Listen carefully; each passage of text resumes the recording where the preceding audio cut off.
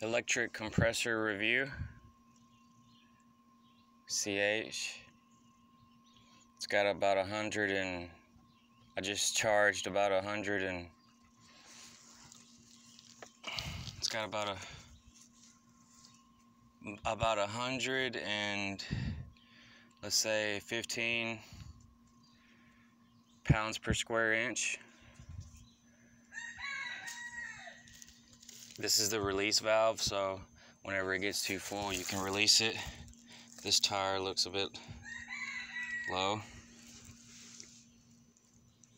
And uh, I just fitted it out.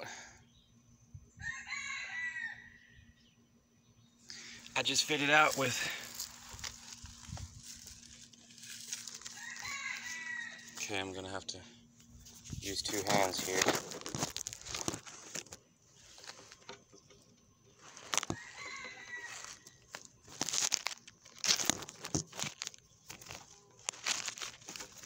Now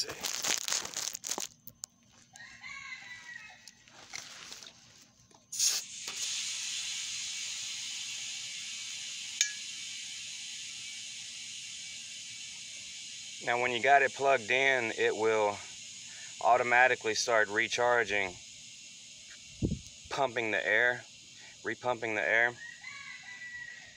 So it'll be kicked on right now, but I had it off because I charged it. And then I came out here and was gonna um, empty out the tank with it. And that was a good bit of air because my father has this other like rechargeable pump that's just like plug in in the socket of a car or truck and this one will do more than that one because he said that one really won't really won't air it up probably unless you have it jacked up. But uh you can see that put some air in there. From there to there it just aired it up. So yeah, that's the electric electric air compressor. And it also has, you're gonna have to buy separate attachments, but um, I do have one that I bought from Harbor Freight for uh, airbrush. This one can do airbrush, brad nailing, and stapling. So you would just have to buy the separate uh, attachments. And yeah, so I'm gonna finish airing up this tire. Hope y'all have a good one.